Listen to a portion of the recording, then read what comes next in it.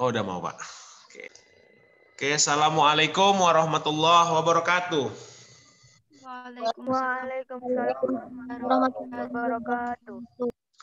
Eh, baik anak-anak, hari ini materi kita mengenai biografi, tapi yang bagian keduanya. Sebelum kita memulai pelajaran, alangkah baiknya kita berdoa dulu agar pelajaran hari ini mendapat berkah dari Allah Subhanahu wa taala. Berdoa dimulai.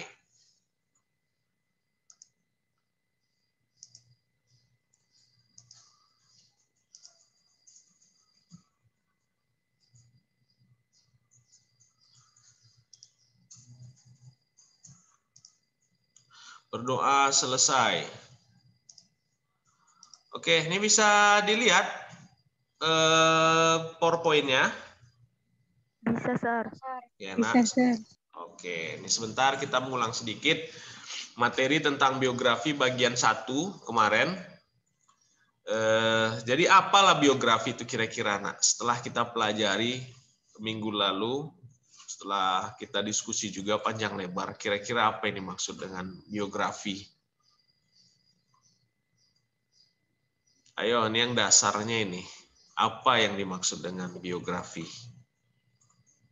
Karya sastra Ya, karya sastra yang berisikan riwayat hidup seorang tokoh ternama, Sir. oke. Tentang riwayat hidup seorang tokoh ternama. Oke. Oke, kita lihat. Jadi eh, eh, kita ini kita nextkan aja tujuan pembelajarannya. Jadi kita sedikit diulang. Jadi cerita ulang itu kan ada empat bagiannya. Yang pertama biografi, kisah perjalanan, teks prosedur, dan cerita rakyat. Ini semua cerita yang diulang kembali. Jadi kalau biografi tadi mengangkat perjalanan hidup tokoh, benar tadi yang dikatakan bahwa cerita ulang yang mengangkat tentang tokoh-tokoh yang terkenal di masyarakat atau orang-orang yang memiliki jasa yang besar kepada eh, terhadap kemanusiaan lah. Kurang lebih seperti itu. Da, kemarin kan saya beri contoh ada dua tokoh yang sangat berpengaruh di Indonesia. Yang pertama Bung Karno, sang putra Fajar, dan yang kedua Haji Agus Salim. Kedua tokoh ini memiliki jasa yang besar eh, untuk Republik ini. Sekarang pertanyaannya mengapa biografi itu dibuat? Tentu kita untuk membuat sesuatu eh, membuat sesuatu tentu harus ada tujuannya. Jadi tujuan membuat biografi ini apa? Kira-kira. Ayo.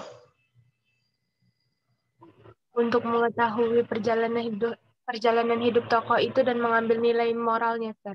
Oke, itu dia. Nilai moral atau keteladanan yang ada pada tokoh yang dibuat biografinya tadi. Dari dua dua tokoh yang sangat berjasa ini, tentu kita mendapat eh, banyak ya keteladanan yang bisa kita ambil. Oke, kita lihat berikutnya bagian untuk menyusun eh, sebuah teks biografi. Yang pertama itu ada orientasi, dan yang kedua itu kajian eh, kejadian penting, dan yang ketiga itu reorientasi atau komentar serta kesimpulan. Ini bersifat eh, boleh ada, boleh tidak, dan ini bersifat argumentasi dari penulis tadi. Barulah bisa menjadi sebuah biografi. Oke, kita lanjut. Di sini saya contohkan kemarin eh, adalah Buya Hamka, Haji Abdul, Ka- Ab- Abdul Karim Karamullah. Ini salah satu tokoh besar di Indonesia. Dan banyak mem- membuat sastra-sastra atau cerita-cerita novel, hikayat, dan hikayat. Salah satunya itu yang sangat populer sekali yaitu Tenggelamnya Kapal Van der Wijk. Kemarin kita sudah cerita juga soal kapal Van der Wijk kan? Oke, kita lanjut. Jadi orientasi itu setting berisi pengenalan latar belakang. Jadi dalam cerita Hamka ini dia mengenalkan latar belakang Hamka ini siapa, bagaimana keadaan keluarganya dan bagaimana kisah ketika ia kecil. Itu orientasi. Dan yang kedua kejadian penting. Nah, jadi di sini peristiwa penting yang pernah dijalani oleh eh, Buya Hamka. Kita lihat, jadi di sini dia kejadian pentingnya berangkat ke Pulau Jawa, merantau, mencari ilmu, berkumpul dengan orang-orang pintar, sehingga jadilah eh, Buya Hamka yang kita kenal saat ini. Yang ketiga reorientasi boleh ada, boleh tidak. Jadi di sini nih eh, berdasarkan argumen. Ingat argumen juga tidak bisa sembarang-sembarang, harus berdasarkan fakta juga. Jadi unsur dalam biografi tadi seperti yang dikatakan teman kamu tadi adalah keteladanan tokoh. Jadi di sini nggak sembarang orang harus dibuat biografinya, harus memiliki eh, kontribusi besar untuk kemanusiaan.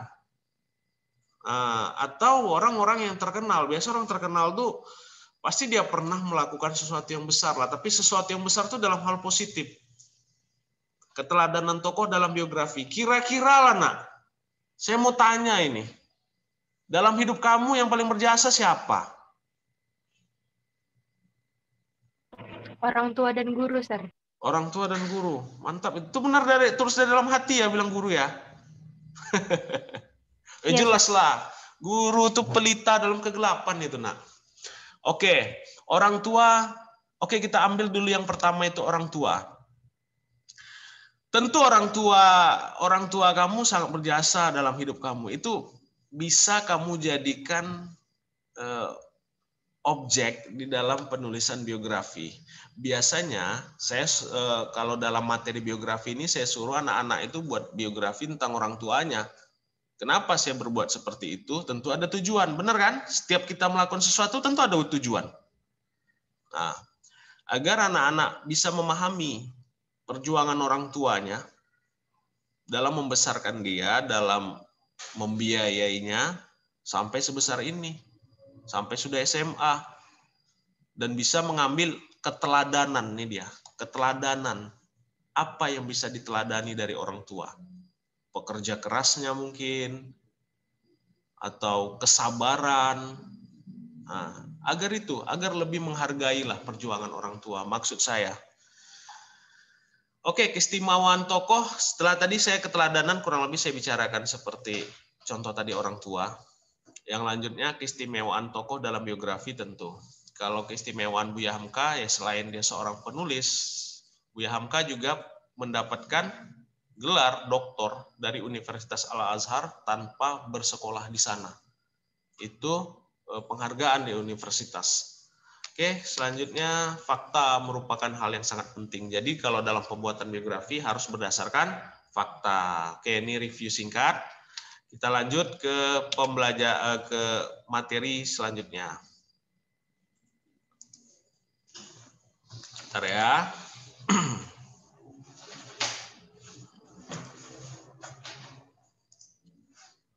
Oke, yang selanjutnya ini masih dengan materi biografi bagian 2. Oke. Apa tujuan pembelajaran kita hari ini? Jadi tujuan pembelajaran kita hari ini untuk mengetahui unsur teks biografi. Setelah itu kebahasaan. Bagaimana kebahasaan dalam sebuah teks biografi. Jadi dalam unsur teks ini orientasi, rangkaian peristiwa atau tadi yang ketiga itu reorientasi. Ini kurang lebih paham nggak bagian tiga ini? Setelah kita identifikasi dari cerita Buya Hamka minggu lalu. Paham. Paham. Paham ya? Orientasi menceritakan eh, orientasi ini apa tadi? Coba dulu. Latar belakang dari tokoh, Sir. Oke, latar belakang dari tokoh Ra- rangkaian peristiwa atau peristiwa penting. Kejadian-kejadian penting dari perjalanan hidup tokoh, Sir. Oke, re- re- reorientasi. Argumentasi dari si penulis, Sir. Oke, boleh ini sifatnya boleh ada, boleh.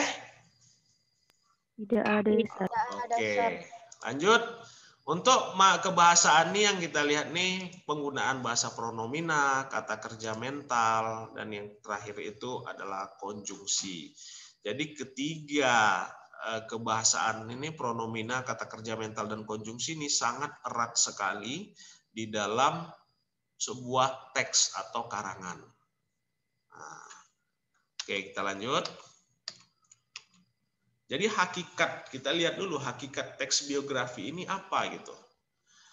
Jadi seperti saya katakan tadi, sebuah teks biografi tadi ada uh, sebuah teks biografi adalah uh, sebuah teks atau cerita ulang yang menceritakan tokoh-tokoh besar atau keteladanan dari tokoh tadi. Biasanya uh, objek dari atau tokoh dari biografi tadi orang-orang yang memiliki atau orang penting atau orang yang dikenal masyarakat atau orang yang memiliki kontribusi atau ya jasa yang besar terhadap kemanusiaan. Nah, jadi cerita jadi cerita ulang disajikan kronologis mengikuti urutan waktu tentu saja.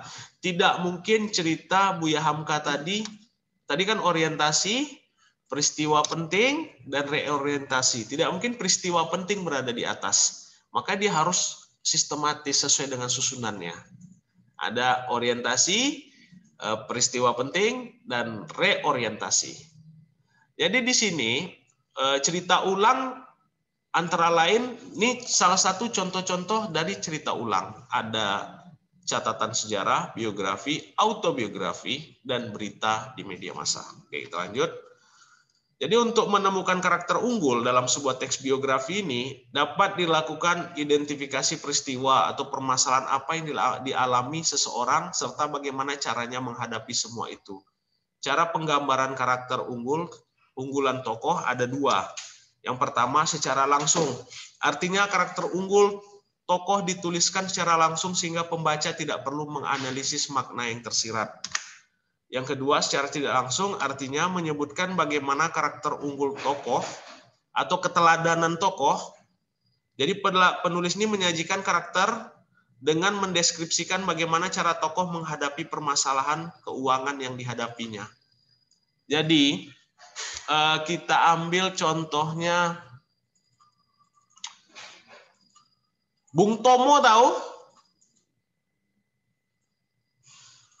Tahu, Sir. Oke, Bung Tomo salah satu orang yang sangat berjasa untuk bangsa ini. Ingat bagaimana cara Bung Tomo eh, mengobarkan semangat pejuang 45 pada saat itu untuk mempertahankan kota Surabaya? Bagaimana Bung Tomo saat itu berpidato di hadapan rakyat Indonesia membakar semangat juang? Dan sampai satu ketika ketika Bung Tomo ditanya, andaikan tidak ada takbir, kata Bung Tomo, maka aku tidak tahu lagi bagaimana caraku membakar semangat juang tentara-tentara atau rakyat kita. Jadi Bung Tomo itu nak pada akhir hayatnya ini ini saya menceritakan sedikit tentang Bung Tomo. Jadi di akhir hayatnya Bung Tomo sebelum meninggal itu kalau saya tidak salah dia tak punya duit loh. Nak. Jadi jangan dikira seperti Jenderal Jenderal Besar Sudirman, semoga Allah merahmatinya. Bung Tomo, semoga Allah merahmatinya. Jangan dikira mereka itu sempat menikmati perjuangan seperti yang kita rasakan ini, nak. Enggak. Enggak sempat mereka, nak. Mereka keburu meninggal.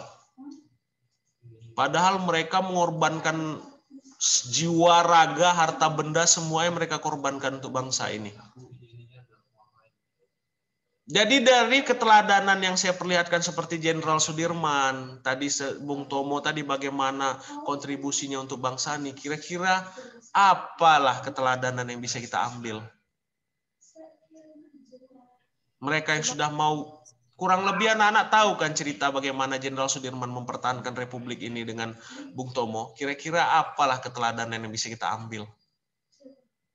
Mereka kita, ya. Mereka rela berkorban dan pantang menyerah, Sir. Hmm. Ada lagi? Tidak mementingkan kepentingan pribadi di atas kepentingan bersama, Sir. Oke, lanjut. Ada lagi? Oke, yang anak-anak bilang tadi benar. Tanamkan itu dalam diri kita. Negara ini sedang sakit, maka kita kitalah obat-obatnya generasi baru ini. Bagaimana kita menyelamatkan bangsa? Bagaimana kita mengobati bangsa ini? Jadikanlah diri kita ini agen-agen perubahan. Paham? Untuk merubah satu bangsa itu tidak perlu senjata, anak, tapi pendidikan. Pendidikanlah senjata paling ampuh untuk mengangkat harkat dan martabat suatu bangsa. maka tuntutlah ilmu. Itu keteladanan yang bisa kita ambil dari biografi tadi. Tokoh yang saya sebutkan ada dua tokoh tadi. Belajarlah. Bahkan kita dianjurkan belajar itu dari ayunan sampai ke liang lahat. Jadi itu kalau dalam cerita, nanti saya lihatkan salah satu contoh uh, biografi tentang salah satu founding father kita yang bernama Bapak atau almarhum Baharudin Yusuf Habibi. Nah, oke. Okay. Lanjut. Jadi struktur nih udah saya jelaskan juga tadi apa saja orientasi, kejadian penting, reorientasi. Setelah itu kita lanjut ke Contoh, ah ini dia. Ini kemarin udah saya, saya tunjukkan eh, tentang Buya Hamka kan, untuk kita identifikasi struktur-struktur yang ada di dalam teks biografi. Jadi di sini kita coba lagi di eh, teks tentang Pak Habibie.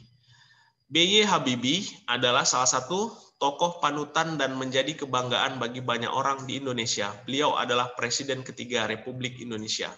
Nama dan gelar lengkapnya Profesor Dr. H.C. Ing Dr. S. Cimut Baharudin Yusuf Habibi. Beliau dilahirkan di Parepare, Sulawesi Selatan pada tanggal 25 Juni 1936. Beliau merupakan anak keempat dari delapan bersaudara pasangan Alwi Abdul, Abdul Jalil, Habibi dan R.A. Tuti Marini Puspo Wardoyo. Habibi menikah dengan Hasri Ainun Habibi pada tanggal 12 Mei 1962 dan dikaruniai dua orang putra yaitu Ilham Akbar dan Tarik Kemal. Jadi di orientasi ini menceritakan apa tadi orientasi? Latar belakang latar belakang tokoh, Sir. Bisa dilihat ya latar belakang tokoh ya. Di sini disebutkan eh, nama Pak Habib almarhum Pak Habibie siapa nama aslinya, setelah itu dilahirkan di mana, pada tanggal berapa, setelah itu e, nama ayahnya siapa, nama ibunya, terus istrinya, termasuk dengan anaknya. Ini kan latar belakang tokoh. Oke, kita lanjut ke bagian peristiwa penting. Peristiwa penting. Oke, kita lihat. Habibie menjadi yatim sejak bapaknya yang meninggal dunia pada 3 September 1950 karena terkena serangan jantung. Setelah ayahnya meninggal, ibunya menjual rumah dan kendaraannya kemudian pindah ke Bandung bersama anak-anaknya. Ibunya membanting tulang membiayai kehidupan anak-anaknya. Di Indonesia, Habibie menjadi Menteri Negara Ristek Kepala BPPT selama 20 tahun. Ketua Ikatan Cendikiawan Muslim Indonesia, memimpin perusahaan BUMN strategis, dipilih menjadi wakil presiden RI dan menjadi presiden RI ketiga setelah Soeharto mundur pada tahun 1998. Pada masa jabatan Habibie terjadi referendum di Timur Timur sampai akhirnya Timur Timur memisahkan diri dari Indonesia. Dalam masa jabatannya yang singkat, B.Y. Habibie telah meletakkan dasar bagi kehidupan demokrasi dan persatuan wilayah di Indonesia – dengan disahkannya undang-undang tentang otonomi daerah dan undang-undang tentang partai politik, undang-undang tentang pemilu dan UU tentang susunan kedudukan DPR MPR. Di sini peristiwa pentingnya pertama Habib uh, Pak Habibie pindah ke Ban Ke mana? Bandung, ke Bandung. Ini ini yang merubah jalan hidup dari Pak Habibie. Kemudian mana lagi yang peristiwa penting ini dia? Pak Habibie menjadi Menteri Negara Ristek, Kepala BPPT selama 20 tahun, Ketua Ikatan Cendekiawan Muslim, eh, Muslim dan lain-lainnya. Sampai Presiden RI ketiga. Terus mana lagi peristiwa pentingnya? Nih, lepasnya Timur Timur, referendum. Setelah itu eh, undang-undang tentang partai politik dan kedudukan DPR MPR. Paham sampai sini? Paham. Benar ya, paham ya? Oke. Kita lanjut. Reorientasi. Nah, di sini turun dari jabatan sebagai presiden, Habibie kembali ke Jerman bersama keluarganya. Pada tahun 2010, Ainun meninggal dunia karena kanker. Sebagai terapi atas kehilangan orang yang dicintai, Habibie membuat tulisan tentang kisah kasih dengan Ainun yang kemudian dibukukan dengan judul Ainun dan Habibie. Buku ini telah difilmkan dengan judul yang sama. Ini uh, reorientasi tadi uh, mengenai pendapat ya nak ya, pendapat dari uh, tapi dia berdasarkan fakta. Boleh ada, boleh ti, boleh tidak. Oke, kita lanjut. Kaidah kebahasaan ini step terakhir dalam pembelajaran ini. Di sini ada kaidah teks biografi. Bagaimana kaidah kebahasaan dalam sebuah teks biografi? Oke, kita lihat teks biografi menggunakan beberapa kaidah kebahasaan yang dominan. Kita lihat contohnya. Yang pertama menggunakan kata ganti orang ketiga, eh, orang ketiga tunggal, ia atau dia atau beliau. Kata ganti ini digunakan secara bervariasi dengan penyebutan nama tokoh atau panggilan tokoh. Kita lihat contohnya. Di sini contohnya George Shah putra Papua sangat menyukai pelajaran fisika. Ia, ini dia ya, kata ganti orang ketiga ya. Ini lihat. Diikuti setelah penyebutan nama tokoh. Ini dia nama tokohnya George Sa. Diganti dengan kata ia. Ia berasal dari keluarga yang kurang mampu secara ekonomi. Berkat ketekunannya, si jenius atau panggilan tokoh Si jenius dari Papua ini mendapatkan beasiswa hingga ke luar negeri. Meski kini telah sukses, OG, nah ini panggilannya lagi, begitu biasa dia dipanggil, tetap menjadi pribadi yang ramah dan tidak sombong. Paham nih bagaimana cara uh, kata ganti orang ketiga? Yang yang jelas uh, clue-nya atau petunjuknya dia menggunakan tiga kata ini, ia, dia atau beliau atau gelar, gelar panggilan atau nama panggilan. Nah, kan biasa itu si jenius, si cepat, nah itu. Dia selalu menggunakan ini. Oke? Paham nih? Paham, Sir. Paham, Sir. Paham, Sir. Ingat ya, menggunakan kata ganti orang ketiga tunggal. Ia, dia, beliau, atau panggilan, panggilan namanya, atau gelar yang biasa disematkan orang kepada dia. Contohnya seperti pelatih sepak bola Arsenal Arsene Wenger panggil gelarnya pada profesor. Nah, itu dia salah satu itu kalau dibuat biografi itu panggilannya.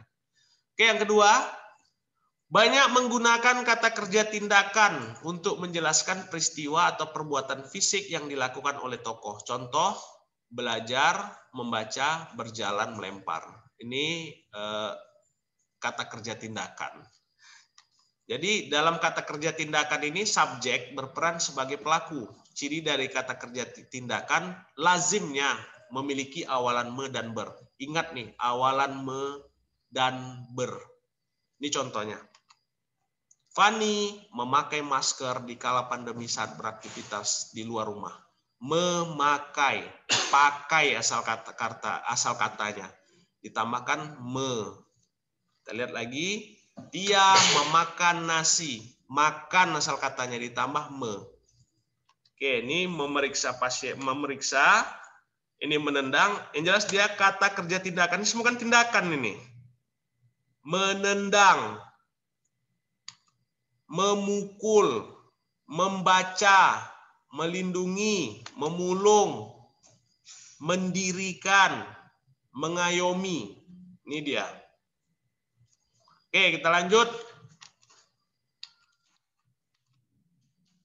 Yang berikutnya, banyak menggunakan kata deskriptif untuk memberikan informasi secara rinci tentang sifat-sifat tokoh. Kata-kata ini maksud yaitu kata sifat untuk mendeskripsikan watak tokoh Tadi ada dibuat George Saa si jenius, benar nggak?